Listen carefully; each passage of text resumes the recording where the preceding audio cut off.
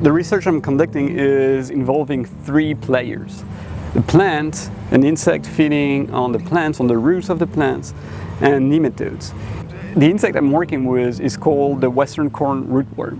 It's called rootworm because it is feeding on the roots of the plants, not on the leaves above ground, but really deep into the ground and damaging the roots of the plants, so impairing the ability of the plant to take up uh, nutrients and water and also to be very stable in the soil.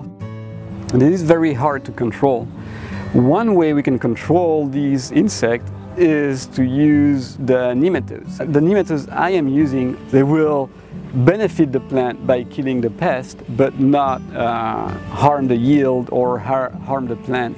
Well, we have all the technology, we have all the knowledge to produce nematodes in large numbers. Uh, so it is something that we, we know we have the technology to produce them, to apply them, and then we could then increase the number of tools growers would have in their toolbox to control this rootworm.